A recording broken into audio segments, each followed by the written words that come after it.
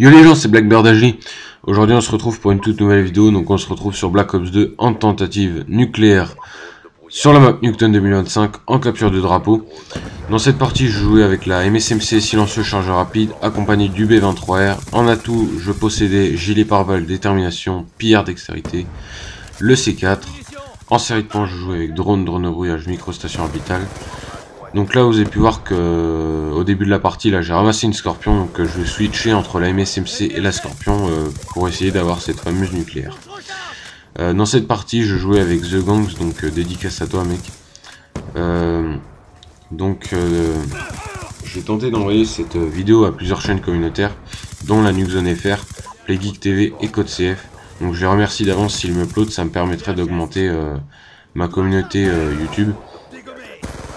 Donc dans cette vidéo, je vais parler d'un petit sujet. C'est euh, l'originalité des armes sur les, sur les Call of Duty. Donc on va partir tout d'abord de Call of Duty 4 où euh, il y avait par exemple des armes comme l'AK-47, le mini-Uzi, euh, le Barrett, quoi d'autre Enfin plein d'armes comme ça. Et c'est vrai qu'on les retrouve sur beaucoup d'opus comme MW2, on retrouve l'AK-47 aussi, le mini-Uzi, le Barrett, euh, pareil, Black Ops, on retrouve pas le Barrett par contre, mais on retrouve pareil la K47 et le Uzi. Euh, pareil, après sur euh, Modern Warfare 3, on retrouve la K47. C'est vrai que la K47 c'est quand même une arme mythique, donc je trouve qu'il se... C'est un peu normal qu'il la mette à chaque opus parce que c'est vraiment une arme mythique.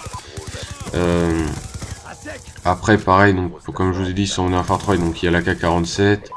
Euh, on a retrouvé plein d'armes comme ça, comme la MP5K, bon même si dans Modern Warfare 3 ça s'appelle la MP5, c'est la même chose pour moi, c'est les mêmes armes.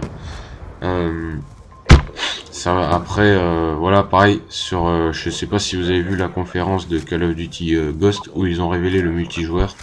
Ils ont mis une image où ils, où ils présentent les armes, enfin les nouvelles armes, pardon, de ce Call of Duty Ghost. Et euh, j'ai vu que il y avait une arme qui ressemblait fortement euh, à la MTAR qu'il y a dans ce Call of Duty Black Ops 2. Et euh, finalement j'ai vu une vidéo et c'était bien la MTAR. Hein. Donc là vous avez pu voir que j'ai débloqué la nucléaire.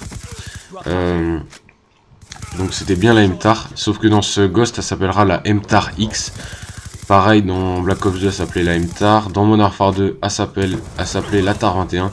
Donc en fait, je trouve que chaque année, c'est vrai qu'il y a des armes de il y a des nouvelles armes comme dans Black Ops 2 avec la Chicom CQB. Mais c'est vrai que euh, chaque année on se retrouve beaucoup avec d'armes. Euh, pardon, on se retrouve avec beaucoup d'armes qui c'est les mêmes en fait, sauf qu'ils changent le nom chaque année. Euh, donc comme je vous ai dit, par exemple avec la TAR 21, donc MTAR X, MTAR sur sur Black Ops 2, TAR 21 sur Modern 2, donc voilà. Voilà, donc euh, j'ai fini euh, avec ce sujet-là. Donc je vais me présenter, donc moi c'est Blackbird HD, j'ai 15 ans. Je propose des plus de 100 kills et des nucléaires, euh, voilà, et des carnages sur les anciens Call of Duty. Donc voilà, j'espère que la vidéo vous a plu. Je remercie encore les autres chaînes communautaires si elles me plaudent, donc PlayGeek TV, et CodeCF, donc je les remercie encore. J'espère que vous avez aimé la vidéo. moi je vous dis à plus tout le monde. Allez, ciao